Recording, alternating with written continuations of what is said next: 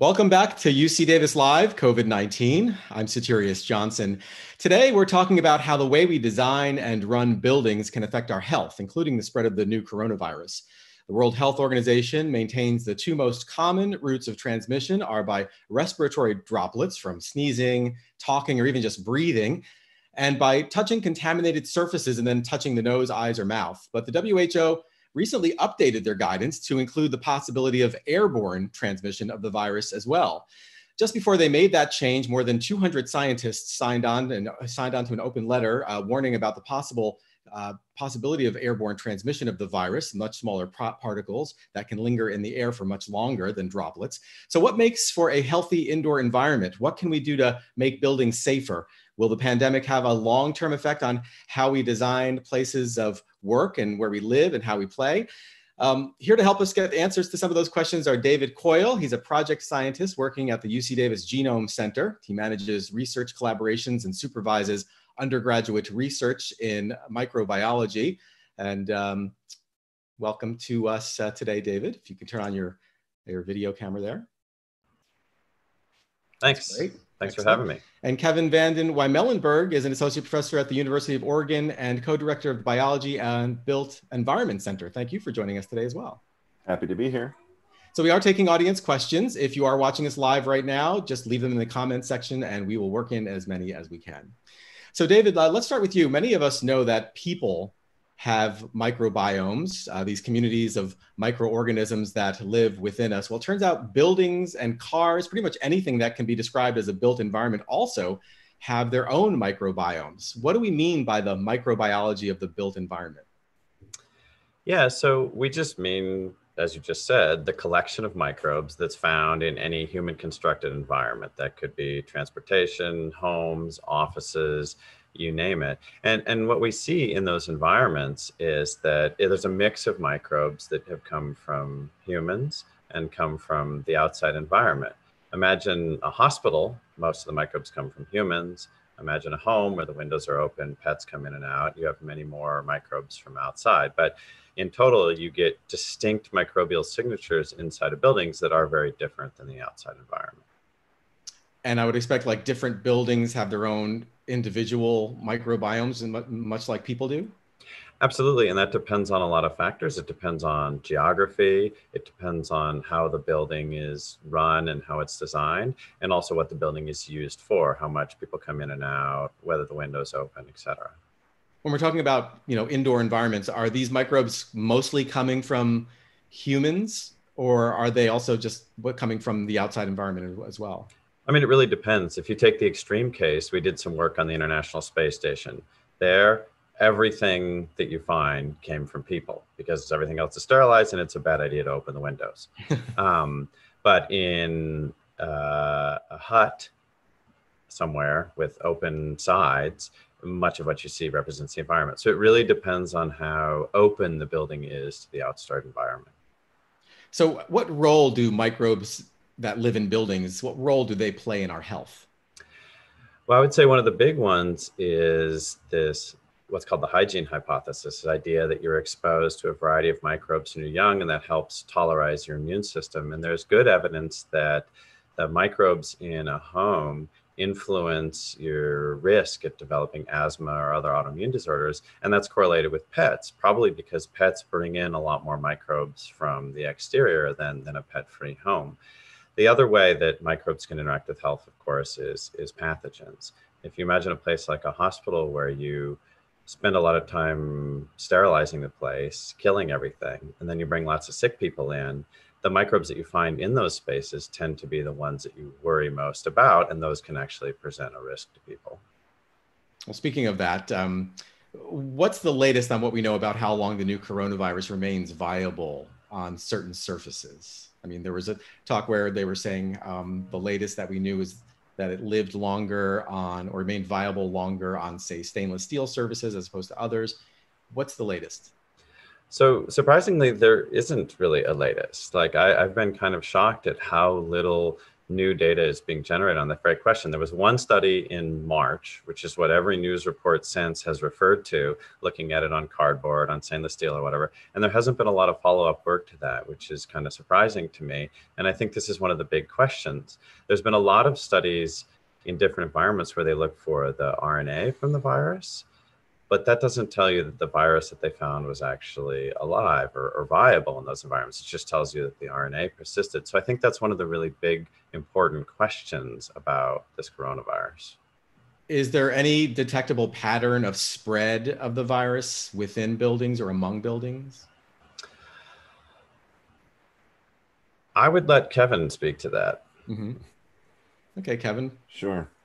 Well, I think it's important to to state at the beginning and perhaps more than once throughout the program, we are going to talk about the word virus, but there's a distinction with the word virus and viral genetic material or RNA. So I think trying to trying to keep that clear when we're talking because a lot of as David mentioned, a lot of the research that we've been doing and others that we've been reading is really tracing the RNA, which is um, a, a, it's it's genetic material it's an indicator that the virus was there and that we it's difficult to know whether that's potentially still infective or viable uh, viral matter. Um, but we have been doing extensive sampling in built environments. We've been in uh, over a thousand samples in different hospital locations. We've done uh, hundreds and hundreds of samples on, in university buildings and through collaborators, um, another several thousand samples at um, various senior care centers with a, a, local company here called Envirotech in Eugene that we've been collaborating with. And so through all of that work, we've been starting to understand more about the modes of spatial transmission. And so, and this is really built upon a platform of a decade of research funded by the Alfred P. Sloan Foundation, where we, we looked at other microbes and how they moved around buildings um, and so we can look at some similarities and maybe some differences from what we've seen uh, from that previous work. With this, because it's an infectious pathogen, we've we've taken even a, a closer look at those modes of transmission. And so I'm happy to unpack a little bit about what we've been learning in those spaces um, from senior care, uh, to to healthcare and even HVAC systems. Sure. So what have what what have you what are you learning? What are the early uh, indications? Yeah, so I think the big question that I that I had when we started, I think a lot of us had when we started this work back in March was what is the air aerosol or airborne risk? You know, basically, um, the viral particles are are impossibly small to imagine. However, they are always caught up in other you know uh, other other droplet nuclei. So other uh, human matter when you when you cough, when you sneeze, when you breathe, um, the individual viruses are going to always be caught up in this other um, wet matter. And it may be very, very small and, and fine and, and remain aerosolized for hours, um, or it may fall to the ground nearly immediately and it's visible, right? And everything in, in between. And so we started by looking at um, three different sampling techniques surface swabs, uh, where we walk around with these glorified Q tips or flocked swabs and we collect samples. What that provides is an integration of a long period of time, ever since that surface had been physically decontaminated with, you know, with uh, biomass removal, like mm-hmm. washing the surface with a cloth or a mop. Uh, you'll have a, a signal of whatever might have settled there since or been brought there by a human. Uh, and then there's what we call passive settling plates. These are just petri dishes or little plastic dishes that are sterilized, and you open them and you set them out for a period of time. And then you know what has settled into that plate over that known duration. Maybe you set it out for two hours or 24 hours. Um, and there's always a possibility that something was resuspended, which is to say it had already settled on a surface. Then somebody walked by and you know, kicked the dust up, if you will, and then it settled back into the dish. So that's possible. Uh, and then the third technique is through air sampling, active air sampling. And so that's using a, a filter, uh, filter paper or a liquid impinger and, an, and a pump, just an air pump, like you might hear your fish tank air pump. Uh, and, it, and it's bringing air through and, and collecting sample that way. So by pulling any of these spaces apart with those three different sampling techniques, you can start to understand what may have been there longer term, how it differs from what's in a fresh settled dish, and how that's different from what's in the air. And so, very specifically, we're sampling for coronavirus, and we're starting to learn that, okay, we are finding viable, well, excuse me, we are finding RNA or the trace of the virus in the air. And this is where you have to potentially allow yourself a little bit of freedom in thinking and hypothesizing as a scientist, where WHO doesn't have that luxury. They need to base everything on really hard and well evidenced research. So, with that said, we, we pretty quickly saw traces of the RNA in passive, passive settling plates and in active air pumps. And of course, we're in rooms where we know there are active emitters, people who are sick.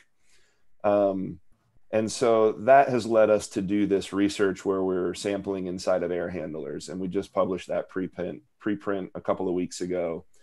Um, and we have identified again the RNA um, at various stages in the air handler. Right.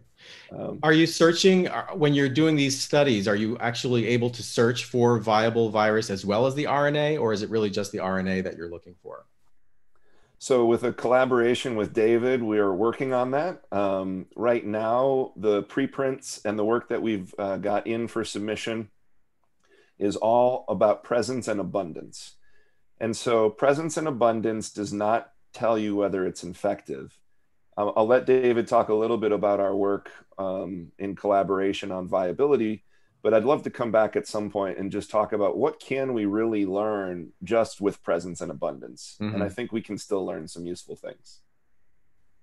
So, so re- regarding viability, uh, to determine whether a virus like coronavirus is infectious, you have to grow it in cells, in tissue culture cells, and you have to do that under very stringent biosafety considerations. And so the facilities that are capable of doing that are very limited, and they're spending a lot of their bandwidth on things like vaccine development and animal model trials and, and all those things that need to happen. So that's the reason why we have to use RNA as a proxy because it's actually very difficult to measure the infectivity of the virus. We're actually doing sampling now at the UC Davis Medical Center around the, the, medical center where we're going to do that kind of culturing in parallel with the RNA work and hopefully get a better handle on, on viability of virus in those environments. But what Kevin is referring to is we're doing an experiment right now. In fact, just yesterday, I shipped samples from our lab to his lab uh, where we're looking at a way to tell if the virus was viable without having to culture it. And I don't know whether that experiment will work, but if it is, that would be really huge because it would allow us to ask these same questions of air sampling, whatever, and get a sense of the viability of the virus. So, so hopefully we're working on that, but um, we don't know yet. That's great. We do have a question um, from Michael, who's watching on Twitter. Is the RNA alone enough to make someone sick? I'm going to guess that the answer is no. Uh, no, yeah okay. you need you need you need a, an intact virion that can can enter a cell. Right. Kevin do you want to talk a little bit about you know what we can learn from just being able to discover where the rna is? Yeah so we've been exploring that because of all the limitations and access to these you know higher biosafety level labs that david mentioned we're trying to do the best we can with the tools that are that are just easy at our disposal and there's a lot that we can accomplish with the presence and abundance of the RNA. So we'll never be able to say with absolute assuredness whether anything that we've sampled is viable and therefore, you know, potentially infective. And science is also on a quest to learn what is the minimum effect, infective dose. Uh, with all of that said, I would still say that there are some practical applications to using presence and abundance right now in our built environment. Um, so I can talk for a moment just about surveillance as a concept, and perhaps it's most well established in the sewage surveillance uh, that is starting to gain some traction on university campuses and with city wastewater municipal, municipalities. Um, and that's really a kind of coarse level signal of what might be in the environment, in in in the community, I should say. Um, and you can track that over time. You can look for points of inflection and, and degradation. Um, but that's you know in inherently a pretty aggregated geographic or spatially aggregated signal, and it's laggy. Uh, laggy as in it's a little slower because you breathe every minute. You might use the restroom a few times a day. So um, the idea that you could use a surveillance technique inside of buildings built upon that concept of our wastewater surveillance, I think is really exciting. And with just presence and abundance, let's say you're, we, we know that you can identify the RNA in an air handler, and we've done so and, and published the preprint. Um, and we, we know you can identify the RNA in active air pumps and have done so. Um, so could you establish a regular frequency, regular sample frequency such that you could use uh, points of inflection in that RNA abundance uh, to guide building operations decision making, or perhaps to determine the effectiveness of biomass removal, if not if not disinfection, where you might break down the viable virus and still leave relic RNA, at least you could look at the effectiveness of biomass removal techniques. Um, but could that also be used as an early warning system to say there might be a potential outbreak happening in this building or in this neighborhood? Yeah, that that's the dream. We just put a video together to try to explain this concept. It's a nice little three minute video. It's on our Institute for Health in the Built Environment website. You can check it out. Um, it's on YouTube as well. But the idea is, can you do that monitoring to prevent potential outbreaks. And uh, I always use the South Korea call center uh, study, which is pretty famous, um, w- well researched. You know, after the fact, after the outbreak in that building. Um, and if you look at that, if you know the study, Figure One shows the retroactive kind of uh, contact tracing of when people were in that building that had symptoms and where they were in that building and then they did a map to show what they what they call the attack rate or spread was and what's really intriguing about that is the big spike. So there were there were first a couple of individuals on i believe february 22nd and 24th that were symptomatic. And so chances are they were pre-symptomatic you know on february 18th or 20th or something like that and putting it into the environment. You know coughing or, or or not even coughing or sneezing maybe just breathing into the environment. Um, and then there's a surge about seven days later where about a dozen or so individuals got sick. And then about a week after that, you know, 40, 50, 60 individuals got sick. Uh, I can't remember the exact numbers, but there's basically evidence that there's a wave, a second, a first introduction, a first wave, and a second wave before, in that case, they shut the building down. Right. So, can we use this technology to prevent and identify, identify that first or second individual in the in the building, maybe asymptomatic or pre-symptomatic. I believe we can and potentially minimize or prevent, hopefully prevent mm. outbreaks. Again, we are taking questions. So if you're watching us on the live stream and would like to ask a question, just drop it into the comment section and we will try to work it in. We do have another question. Uh, Francisco on Facebook, could you discuss how future land use planning and high density development might be affected by what we're learning about how people can get infected in the indoor environment. David, should I take that one? Yeah, that's all you. okay. um, well, there's a lot of speculation here, obviously. Um, and we were already imagining, I guess, reimagining cities before COVID 19. Um, we have a, a, collaborator here, and there's there's other universities working on this that that are really looking at the way autonomous vehicles, the share, you know, ride share uh, programs, and just the sharing economy, um, and is shifting the way cities are designed. You know, there's this hypothesis of no more parking lots, um, which uh, and no more parking garages, and so reimagining all of this. There's hypotheses around if it's all autonomous vehicles, then there's this risk of suburban sprawl um, and all of this you know has impacts on on energy. And we're living uh, we've described what we're living in right now with the covid-19 as a you know as a global pandemic. And i'd say we're we're living in a pandemic inside of a of a climate crisis as well. And so it's really important to figure out ways to create density, uh, to, to have the efficiencies associated with that, while also creating ways to live safely with regards to things like pandemics, which we've seen coming at us in waves. And obviously, this is the biggest wave, but it's unlikely that we're going to live in a, in a future where this isn't going to happen again. So we have to find a way to do the both and. Um, you know, you take that to a microcosm level and you think about open office environments. And, you know, there's a lot of synergies and, and creativity and innovation that can happen when people can work so closely together. Even as simple as overhearing other people's conversations and the interjecting um, all of that is at risk because of this concern around coronavirus and these limitations of physical distancing and virtual virtual environments. Um, so i'm i'm on a quest to find a way to, to to do both to to reduce and reverse climate change support community development as well as find ways to live in these spaces um, when we have to flex into pandemic mode, if you will. I'm curious, you know, you're an architect. How did you get interested in microbiology? Oh, just just pure luck. to to be perfectly honest, um, I was recruited to University of Oregon to take over a lab um, that was focused on energy efficiency uh, called the Energy Studies in Buildings Lab. And um, it's a really well known lab, and I was super honored to be recruited to it.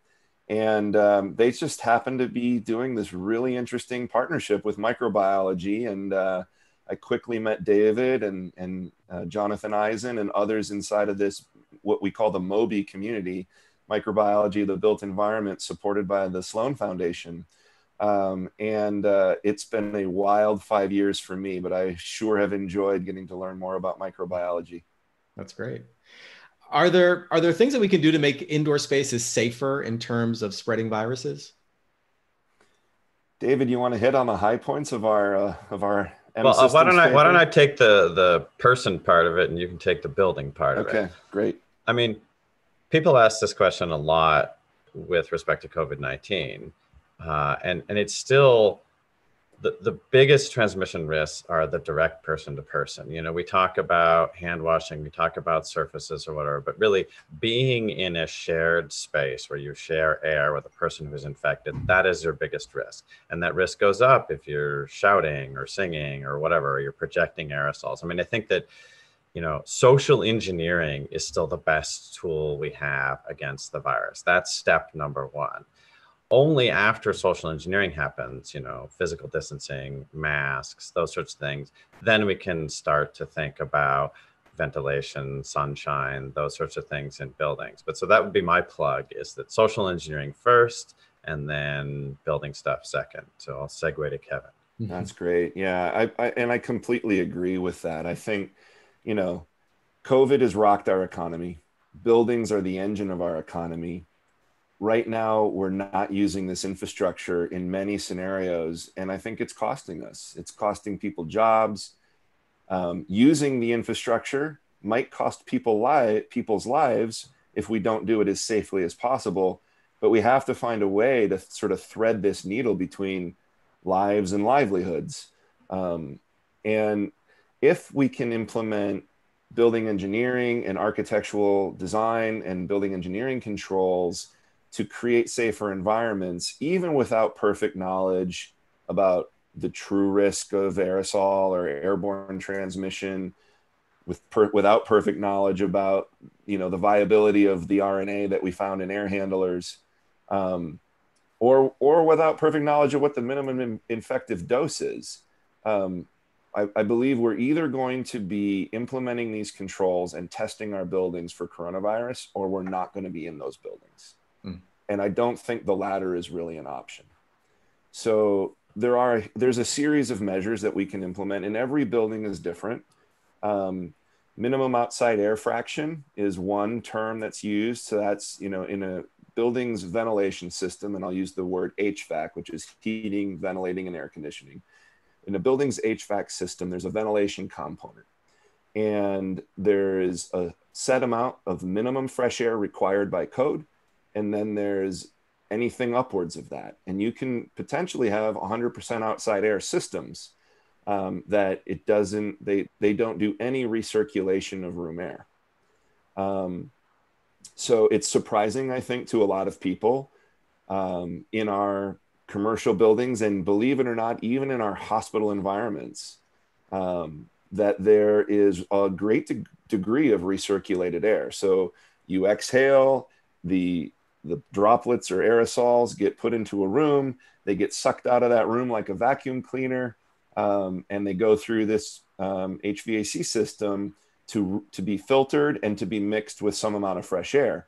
It could be 80 or 85 percent, or sometimes even more recirculated air and only you know 15 20 percent fresh air and then there are other times where it can be a lot of fresh air and the limiting factor there is what is the heating and cooling component of that hvac right so if you're 100 degrees in sacramento uh, and your buildings are 72 degrees indoors that's a you know 28 degree delta t it's a lot it takes a lot of energy to cool right. down that 100 degree outside air and your system's cooling capacity might just not be set up to allow you to go up above 20% minimum outside air. And so that's where the rub comes. How much can we turn that dial depends on how much cooling capacity. Right. And it almost sounds like something like that would require a huge investment because a lot of a lot of these buildings and even newer homes are built uh, to be efficient. And to be efficient, you're recirculating a lot of air. You're not letting a lot of the outside air in, is my understanding. So, are we talking yeah. about just tweaking existing HVAC systems? Or are we talking about basically retrofitting them? Yeah, I'll, I'll say every building has some wiggle room in its system. You can probably so we talked about outside air fraction. You could you could probably adjust your outside air fraction a little bit, um, and especially if it's not you know the hottest day in the summer there's a lot of the year where you may be able to do that and then there's also what's called air exchange rate which is how quickly are you turning over that room air um, and regardless of the outside air fraction those are tools that you have at your disposal to to potentially move more air and if you're moving more air you're putting it through the filtration process more you know more often and likely removing more of that you know particulate matter from the air um, and then there's also just the opening the window if you can. Oh yeah, that opens right. And I'm a big I'm a big fan of that. There there are some caveats or concerns, but you know the idea with opening a window is rapidly get you know more outside air into your space. If you go into a space and it feels stuffy, this is a good thing to consider. Um, and then it also bypasses the ductwork and the good the good and the bad of that we've done research to show that when you introduce outside air through a window it's different. It shifts the microbial community indoors as opposed to air that's brought through ductwork. And that could be because of the filtration process of ductwork or it could be because of the recirculation fraction with ductwork or it could be about perhaps you know what happens in the ductwork over time. Um, but the caveats to opening the window are well you don't have that filtration and that might be you know bringing in more allergens and that's something we have to be or, or outdoor pollution we have to consider those things. And also just opening a window doesn't necessarily mean you're going to induce the airflow. You have to think about really basic architectural design principles about getting that air to flow. And anybody who's trying to open their you know open their house up at night um, knows that it works better if you can get a window on two walls to get the cross flow, uh, or if you can get windows on your first floor and outlet outlet on your second floor to induce the stack flow. Um, so those are some tips and caveats. Right, right, right. I want to move on to schools because you know there's been a lot of debate and concern about the possibility of reopening schools this fall. Are there particular things we can do to help schools open in a safe manner? Well, I think what David mentioned is is most important, and and we've been. I think I'm spending half of every day in the last several weeks talking with school districts, working on this school's reopen. Um, there's some great resources that were made available by uh, the Harvard Health Program earlier this week or maybe last week. Um, if you go Harvard Health Schools, you'll you'll find a really nice um, 20 or 30 page document and a really nice one page distillation of these concepts. And it's really a systematic approach of thinking through the activities of the school. And so much of it is this human, uh, human work uh, that, you know, the behavioral practices that David mentioned. Uh, and then, of course, all of these same HVAC principles and even testing uh, your buildings uh, are, can be part of a, a safer reopen um, with with schools coming up this fall. And you know, and that's just around the corner. In Oregon, we have a little bit of a delay because we don't we don't start as early as others. Um, but every school district and every school building in Oregon has to have their action plan in by August 15th, and uh, we're working working hard to help open them if we can. So I want to I want to say something here, which is I think school reopening really emphasizes how much we don't know about what are what are actual risks. You know, schools are spending millions of dollars on disinfectant wipes, for example, and and practices like that, and we actually have no idea if surface to person transmission is any real risk. I mean, we expect that it is. It is for other coronaviruses. It's not been demonstrated with this coronavirus specifically. Um, but because we don't know what the minimum infectious dose is, we don't know how long the particle, the virus stays viable in the air. There's just so much we don't know. So schools are being asked to make complex decisions based on surprisingly incomplete information. So I think it's a really challenging question. And I think this is where the precautionary principle comes in, which is a lot of school districts and states are going to say, we don't know, so let's not do it. Right, right. Yeah. We have another question from a uh, viewer. Uh, AJ watching on Facebook is asking Are HEPA or UV air filters effective? I want to just circle back to the last question for a minute because I think it's so important. And the precautionary principle, I think, is totally valid. My my fear or my concern there is if we can't open schools, we can't reopen. We really re- can't reopen the economy, and so pushing pushing to explore the possibility paired with a, a, rapid surveillance program, I think is the only possibility. And I think we have a month or so to figure that out, um, maybe even just a couple weeks in some school districts. Uh, or I fear we're going to be going through likely the whole year online. And that's hugely detrimental to learning. From an equality and equity standpoint, it's also a big concern because in, from a from a school is safe perspective and and the resources that students get at school um, it's an incredibly it's a monumental decision it's it's the it's the crux of, of this climb is to figure this out and we don't have a lot of time left. definitely not an ideal situation but the risks of opening too early are just very just too great. Yeah the debate the debate will go on i'm sure and it will play out in many different ways in many different school districts across this country. Right. Okay what about the filter question? Are hepa or uv air filters effective against this new coronavirus? David you want to jump in on it? Nope that's all you. Great. Well there's a little bit of a repeat here is we believe that these techniques are effective um, based upon previous research on previous viruses.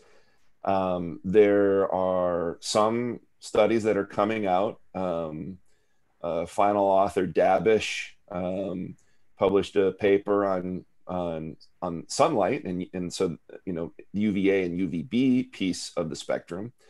Uh, and its its effectiveness at reducing um, the viability of uh, the novel coronavirus that came out about a month month and a half ago. D A B I S C H, uh, final author. And uh, there's other UVC, which uh, UVC doesn't make its way through the atmosphere. And so there's a reason it's effective at you know zapping microbes is because they're they're not accustomed to it um, in the atmosphere, uh, and just the energy and breaking you know uh, breaking the the viable shell, the lipid shell apart, et cetera.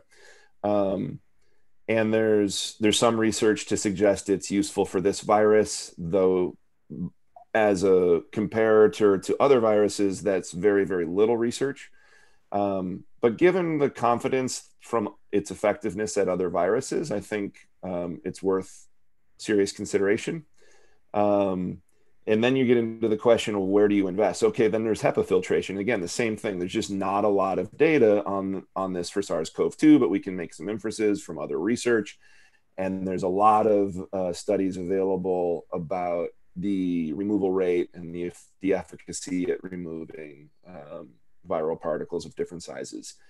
So, uh, or or particles, particulate matter, period of different sizes. So both I think are good strategies to consider. Um, and the question is, how do you start to make investment choices about which? And um, and really the the concern that from a manufacturer's perspective, there's the silver bullet mentality, and I think none of these techniques are silver bullets. All of them have limitations. So HEPA filtration works great. We've heard tons about the airline industry and their HEPA filters, right? Um, and they, we talk about even the outside air ratio in the airline industry. Um, but the concern there is the concentration of individuals. Yeah, the, the, the cabin air volume might change over at a really high rate, almost at the rate of a, of a surgery suite. But the fresh air per person is a whole nother, mm. whole nother question.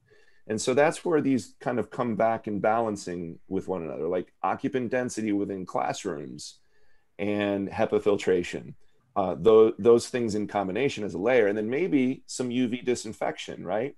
Um, you really want to save that disinfection for when you know there was a problem. Ergo, the surveillance and testing. We don't necessarily want to be using UV every day in a building because it, de- it degrades surfaces. And UV air treatment, another great idea, but it requires just like filtration, you know, it requires the well, maybe not just like filtration, but with UVC air treatment, it requires a dose duration. And that may, you know, the first pass of the air may not be inactivating the virus. So there's a lot that we don't know. Um, right. Okay. We have another question. Uh, Tim on Facebook is asking Is there anything I can do to improve air quality in my cubicle if my building does not have a good HVAC system? Oh, we're dreaming we're dreaming of ideas right now um, in a practical manner. Um, i'd say again uh, a, a, policy on masking if at all possible. Um, i realize that masking is there's fatigue. I've spent eight hours in a mask. It's not fun. Um, and so i think the answer is kind of these hybrid approaches um, thinking about occupant density in that space is probably the next most important. Um, I, am going to sound like a broken record, but you, you know you can't test every person every day for coronavirus. But I'd say you can test your you know you could test every building every day or every air handler every day. So if you are going to have a regular occupancy plan inside of buildings, I would strongly encourage um, either surface testing or air testing if possible inside. And then from a practical design standpoint, you know, you could put up some plexiglass toppers on your cubicle potentially to, to minimize some of the larger uh, particulate matter or droplets. But chances are, you know, the real the, the concern is the long-term exposure and the potential of the aerosols that could move around any sort of cubicle topper. Um, which then gives you brings you to well are you going to install a HEPA filter right in your cubicle? A little remote HEPA filter which you could do.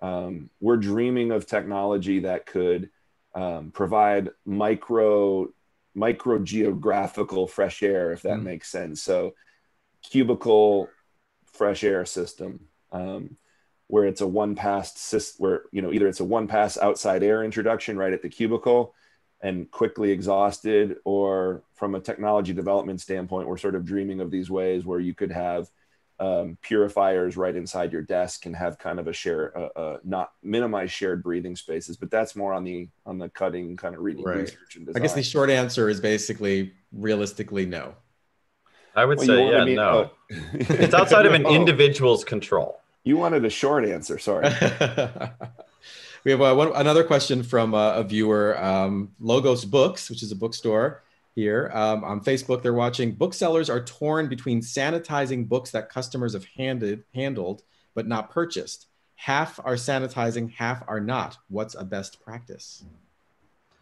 So we've been asked this before by the UC Davis Library, actually. and again, I think no one knows for two reasons. One, well, three reasons. We don't know how long the virus is viable on surfaces.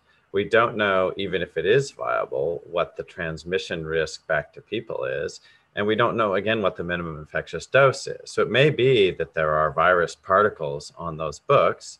They may be dead, but even if they're alive, they may not represent enough to actually get someone sick. I mean, all of the evidence so far is again that the risk is person to person inhaling aerosols or droplets that are emitted by people in a shared space. So, personally, I think that objects don't represent nearly as much risk as as sharing space, but we don't really know that. So, I think there's no good answer, unfortunately. Yeah, and maybe I'll just add you know, there's everything David said, and then there's, well, what are you going to do? Because you have to decide. So, are you going to spray down and wash down these books every day? Uh, I would say there's an acute problem that you could be avoiding, um, which is super important right now. But long term, as a practice, this is something we want to be really careful of because it's just overuse of disinfectants, I think, is a, is a concern. So maybe there's a middle ground, which is you set those books aside for two days before you reshelve them. If that's a if that's a viable solution um, to for a good for a good number of the books, maybe you're disinfecting far fewer, um, which could be a step in the right direction. We're to need to wrap up uh, for time in just a little bit of. I, I wanted to wrap up by asking you guys: Do you do either of you foresee building designs changing? over the next few years because of this pandemic? Are we going to see kind of like the open floor plan go away or will there be other innovations or practices in designing and create you know building new buildings because of this. That's you. Uh, well i think the answer is absolutely. Um, i don't believe that we will quickly forget this. Um, i said that even in april and i'll even more so now. Um, just we're in this prolonged first wave or second wave or whatever and I think we're going to see this again in fall. Even if it subsides, we'll see it. We'll see it come up again in fall, given you know what we know in history about infection and um, epidemiology. So I don't think we're quickly forgetting this, and I think it will. It's already shaping how we're operating. We're, we're already making retrofits, uh, and it's uh, in the, the the designs that are on the board that we consult. Uh, it's it's already shifting the conversation so I think absolutely. And if, if the 1918 pandemic is any clue, uh, we spent two to three decades as, uh, as a profession um, un- understanding the implications and looking for ways to create healthier spaces.